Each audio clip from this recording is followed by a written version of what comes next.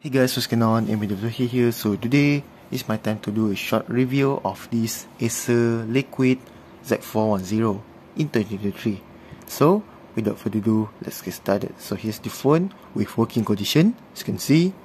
Now let's take a look at the body before we enter the UI. So as you can see on the screen part, it has minor scratch. Don't worry, it's just a screen protector. If I remove it, there's no scratch.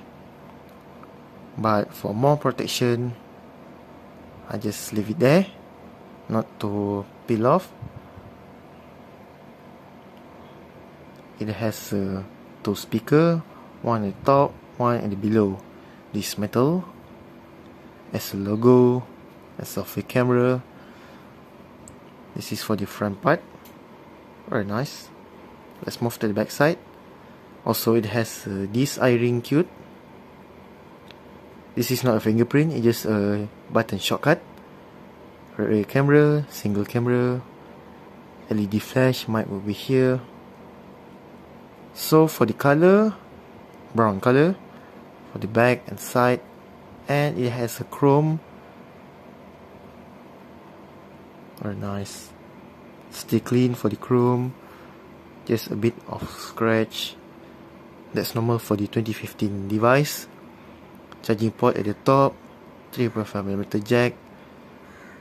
And this is for the back cover removal.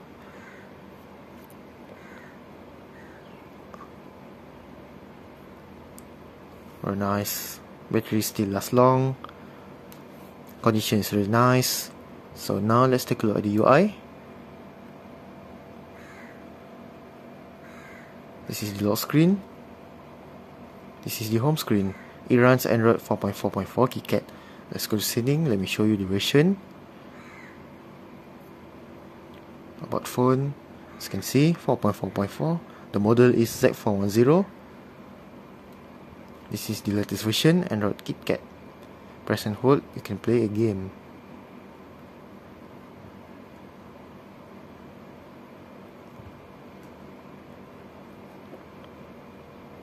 This is the home screen. Menu apps. It's like a KitKat style. So I just took a wallpaper stock Android KitKat. It really matched with this phone and also the icon clock so on. Navigation panel. It looks very clean. Stock Android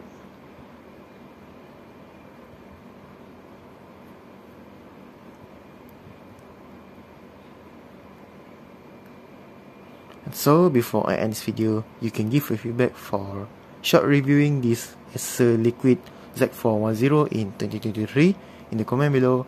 And so that's all for me. Thank you very much and don't forget to subscribe to my channel. See you on next video. Goodbye and before that, does anyone still using uh, any Acer phone? Comment below. And goodbye.